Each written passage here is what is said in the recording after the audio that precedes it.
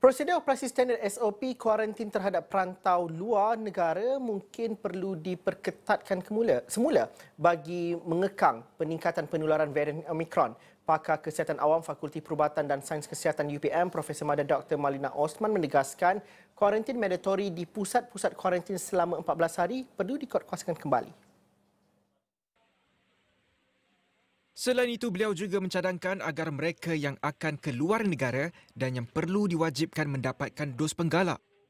Uh, yang pertamanya ialah dengan uh, menguatkuasakan semula mandatory kuarantin di pusat-pusat yang telah digazetkan. Ya, maksudnya bukan lagi kuarantin secara kediri, uh, namun uh, mereka perlu dikuarantinkan menurut uh, apa yang sepatutnya dilaksanakan dalam tempoh 14 hari. Dan dalam masa yang sama, uh, saya juga ingin mencadangkan supaya mereka yang akan keluar negara, uh, walaupun telah lengkap booster, dos penggalak, namun uh, bagi mereka yang sepatutnya perlu mengambil dos penggalak, perlu diwajibkan terlebih dahulu sebelum dibenarkan untuk mengembara keluar negeri. Ya. Dan ini melibatkan pengembara tempatan dan pada pandangan saya juga boleh digunakan untuk mereka-mereka daripada negara-negara lain yang masuk ke dalam negara kita.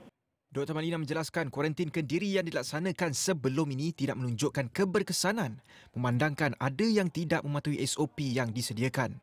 Kuarantin kendiri uh, seperti mana yang telah berlaku lah sejak uh, wabak apa tu melanda negara kita memang tidak dapat kita harapkan ya dalam uh, apa tu uh, uh, perancangan kita untuk mengekang penularan sebab biasanya mereka yang diberikan uh, arahan untuk kuarantin kendiri uh, biasanya gagal ya untuk uh, me, me, apa tu menguatkuasakan ya peraturan tersebut ke atas diri mereka sendiri. Ada yang akan melanggar SOP tersebut dan juga memberikan ruang kepada potensi penularan kepada uh, individu-individu yang di sekeliling. Selain itu, beliau menjelaskan beberapa kelonggaran yang diberikan juga menyebabkan ia membuka peluang kepada penularan tempatan. Dr. Malina juga mencadangkan agar kos kuarantin ditanggung sendiri oleh pelancong-pelancong yang pulang dari luar negara dan mereka yang datang ke negara ini.